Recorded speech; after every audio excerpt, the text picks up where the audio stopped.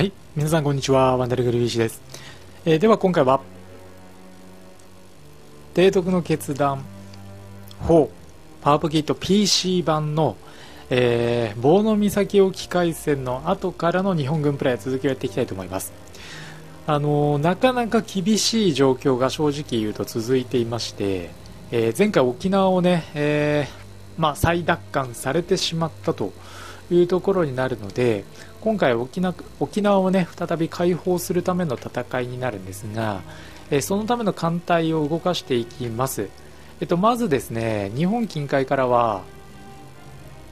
この第4艦隊。これはもう潜水艦16隻からなる艦隊です。これを出していきます。でえっと、南シナ海からも艦隊を出さざるを得ない状態で南シナ海からは、えっと、まずこの日本の第一艦隊ですね。これを出します。ただ傷ついている艦隊として、まあ、戦艦の伊勢。これ、えー、中波。さらに中波している艦艇を含めざるを得ないというところと、まあ、駆逐艦が多いなというところですね。でもう1艦隊移動させていましてこっちもなかなか厳しいんですが第2艦隊です。でここは、まあ、同じくね、え中波している艦艇を入れざるを得ないというところとあと潜水艦がね、えー、半分ぐらいいるっていう艦隊になってます、まあ、なんとかね、えー、ここを勝利していかなきゃいけないところにはなってきますんで頑張っていきたいというふうに思います。ではあ時間を進める前に内政をねちょっと入れておきましょうか。もちろん勝つつもりでの内政ですね。えっとまずは技術投資から見ていきましょう。あの今はねとにかく鉄がないんですよね。鉄さえ取れればあの艦隊がね修復できるんですけど鉄がもう全くと言っていいほど入ってこないというところで本当に厳しい状態ですね。まあ、鉄の資源でいうとねこの南シナ海鉄取れるんですけどまあ壊れている艦艇が多すぎて修理に全く回ってこないっていうところですね。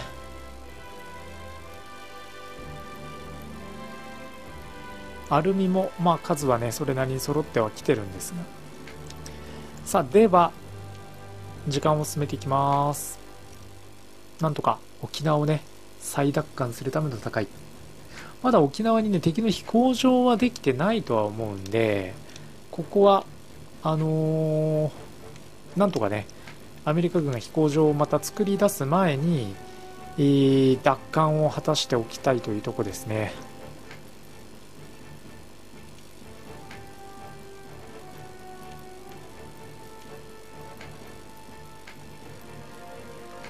あとは敵の配置もね、ちょっとわからないんで、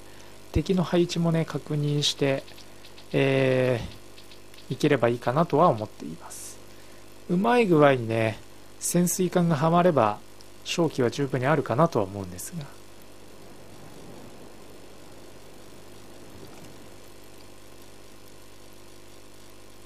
まずは敵の艦隊発見してますね。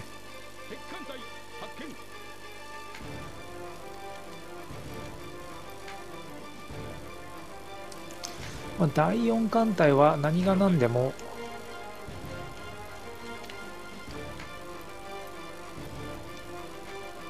敵のね主力艦を沈めてもらわなきゃいけないので潜水艦隊の爆発力にかけましょう。で今多分雨が降ってるのかな。航空隊が出せないのでちょっと画面見づらいかもしれないんですが雨が降ってそうな感じはしますね。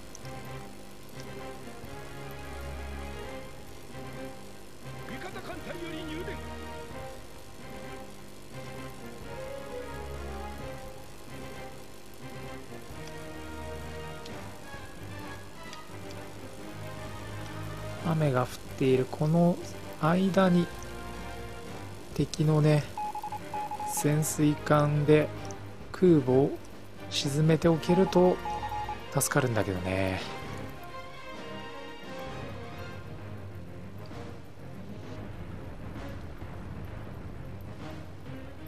さあ画面奥から潜水艦の魚雷が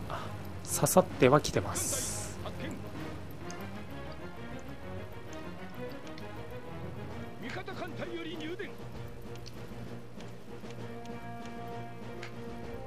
ちょっと魚雷の許可をやめてもうちょっと引きつけましょ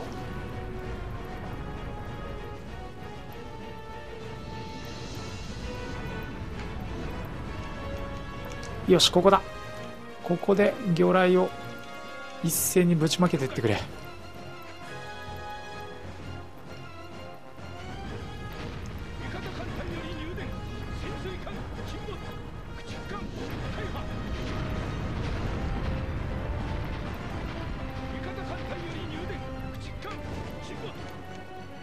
と待ってね。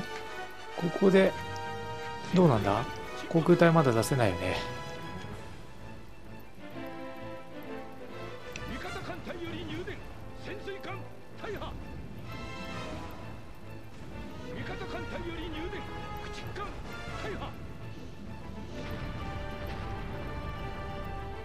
味方艦隊より入電。雨の始まりは悪くないからね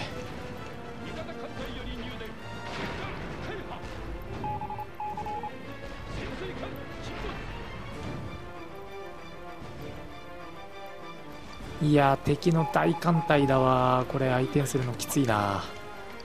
第二艦隊をちょっと動かしましょう。敵の側面に回り込ませます。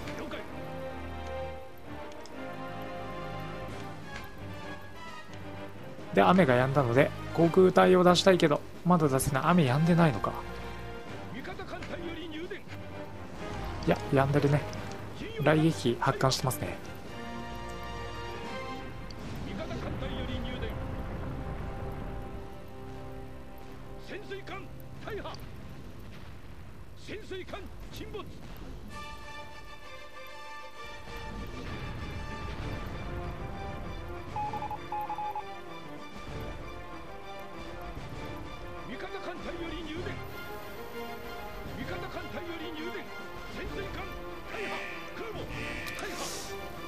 潜水艦だいぶ失ったけど潜水艦で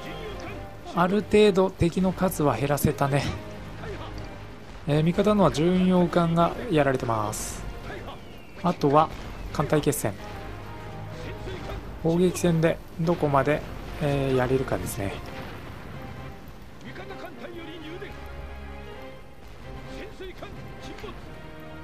ただちょっと駆逐艦が多いんでね。ここはちょっと思い切って敵の艦隊に入っていかざるを得ないかな。ちょっと距離を取られてしまうと一方的に敵の砲撃の餌食になってしまうんでそういう状況を避けるために少し接近しましょう。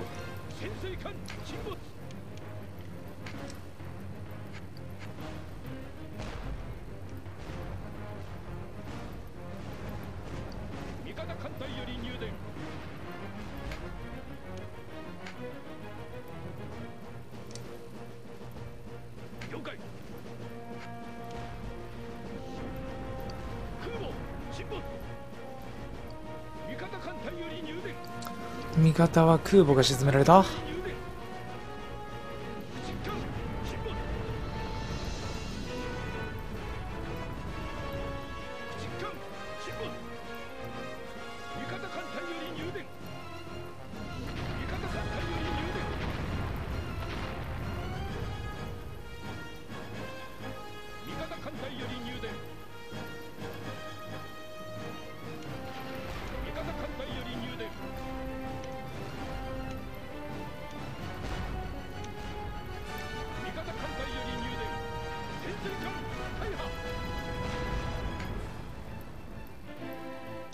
第4艦隊壊滅に近いですね。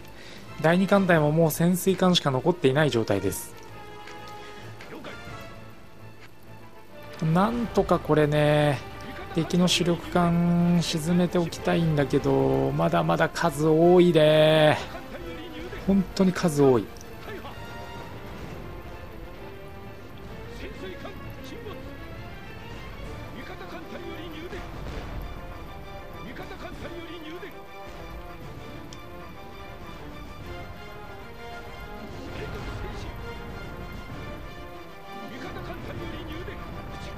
城島さんが選手か。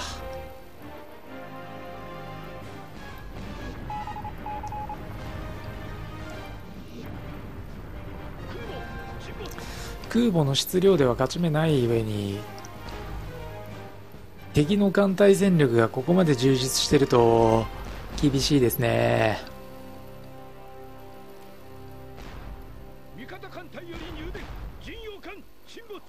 沖縄を取られたのがまずかったのかな。あとはやっぱり鉄の資源確保どうにもならないですもんね。鉄の資源さえあれば多分もうちょっとやれたんじゃないかなとは思うんですけど。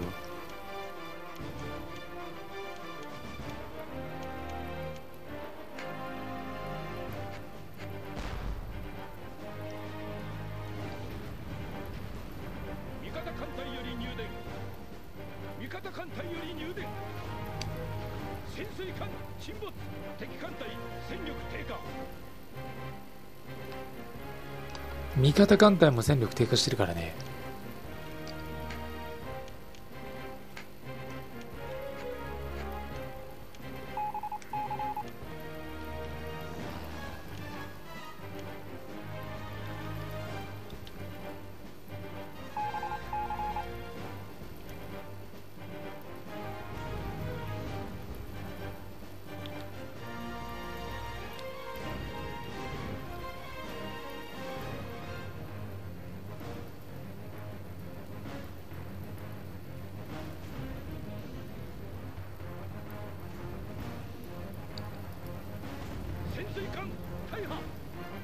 いやーここに来て敵の駆逐艦による潜水艦狩りが始まってるね。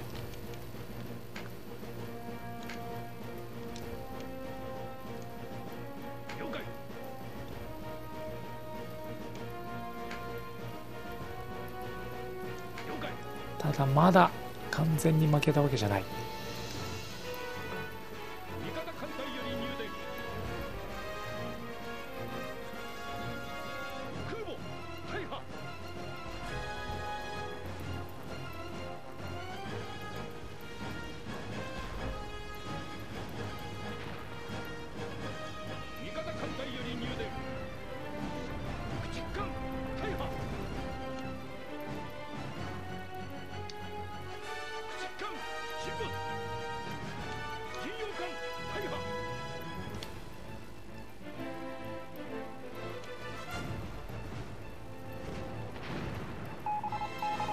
ずは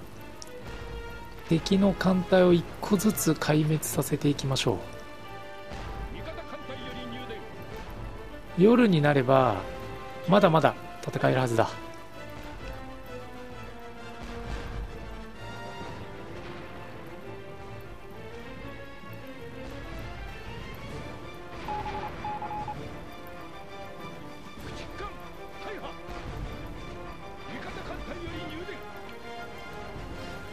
空母はどうだろう。大型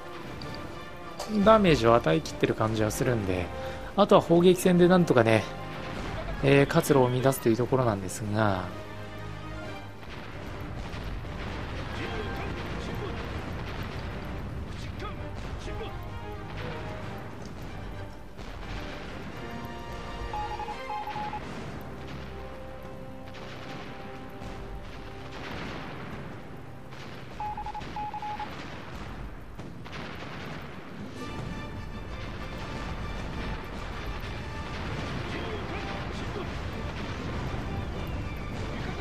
うーん従順が沈むと火力が厳しいな。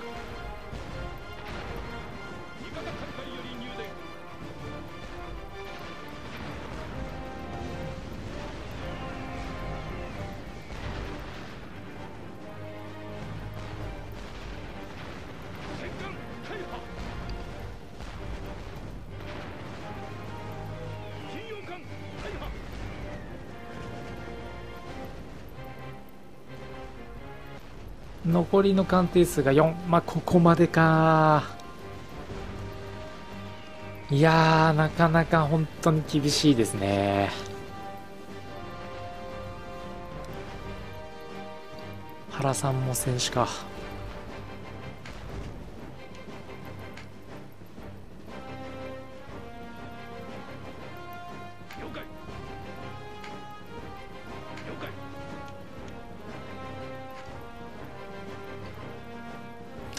で、えー潜水艦部隊の方は撤退していきますね。もう魚雷を多分打ち尽くしたんでしょう。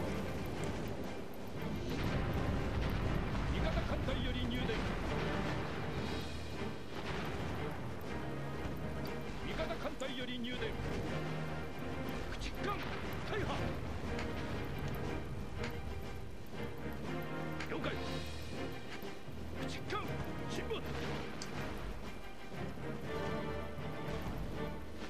残るのは、えー味方の方だとクルーザー級、まあ、あの巡洋艦が今撃沈されましたね、えー、軽空母が1あとはあ航空戦艦あ伊勢ですね。まあ航空戦艦の火力はそれなりにあるので航空戦艦の火力でなんとかね敵と打ち合えればというところだったんですがまあでもちょっとここまでかな。残念ですけど。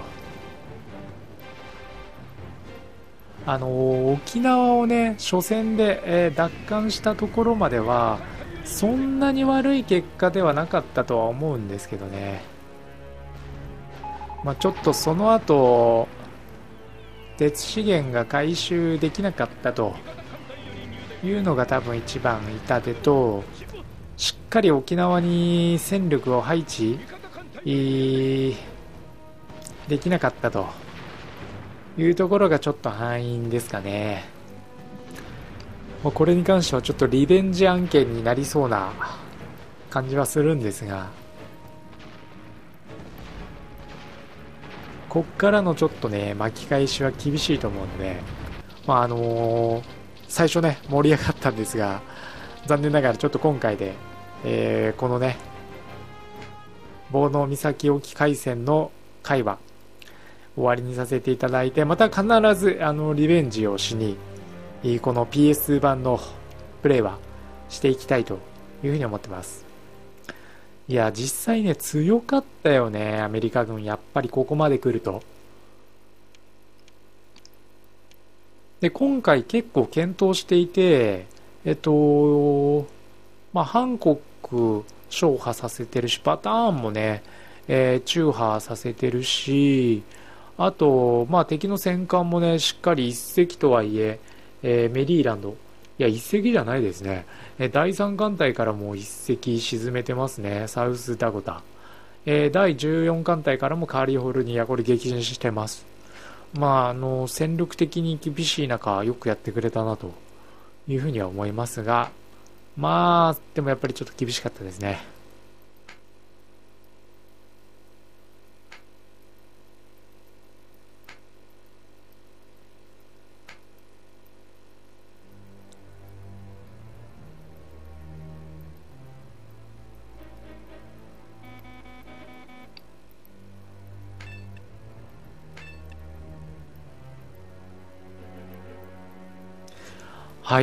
えーというわけでね、まあ、ちょっと大変残念な結果にはなってしまったんですが、えー PS2 版継続の決断法パープキット。棒の岬沖海戦後の日本プレイ、えー一旦ここまでにさせていただきたいというふうに思います。鉄がねちょっと回復してるんで最後にヤマトがどんくらい回復してるのか見定めたいな。結局どう頑張ってもきつかったという中どうすればクリアに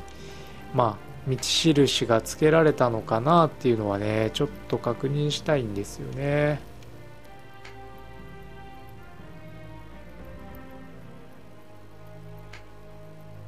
ヤマト。まあでもやっぱり大破だよねヤマト。まあもしもしねリベンジできるまあもしというかリベンジするんですけどリベンジするときは沖縄を取った後沖縄に艦隊は残さなきゃダメですね。あのマップを見るとあのーどうしてもねこの日本近海ここはね絶対に出資しなきゃいけないところなんでここが落ちると敗戦なんで日本近海。あと沖縄はね正直言って資源的には全然美味しくないんですよ。お金がちょろっと入ってくるだけなんで。であればやっぱりこの南シナ海をね取らないとあの鉄が入ってこないんで話にならないという中だったんですがまあ南シナ海に艦隊派遣して沖縄ががら空きになったところをやられたという感じなんですけどどうしてもね防衛しなきゃいけないところとしては日本近海にも艦隊を置かなきゃいけない。でそうなると沖縄にも艦隊で南シナ海には鉄を取りに行かなきゃいけないということであの、3海域にそれなりの艦隊戦力を配置するってなると南シナ海の攻略がちょっとままならないというところがあったんじゃないかなと思って、えー、沖縄からね全兵力を南シナ海に差し向けたんですがその結果沖縄の再奪還がもう不可能になったというのはね痛恨です。ちょっとここはリベンジ案件やるときに反省点として生かしていきたいというふうに思います。えー、では今回はここまでにさせていただきたいと思います。はい。というわけで、えー、最後までご視聴ありがとうございました。ぜひチャンネルの登録あとはですね Twitter の方で動画の収録状況とあとは配信状況、まあ、その他もろもろ情報を発信しておりますので、えー、興味のある方はぜひ Twitter の方もフォローしていただければあ嬉しいなというふうに思います。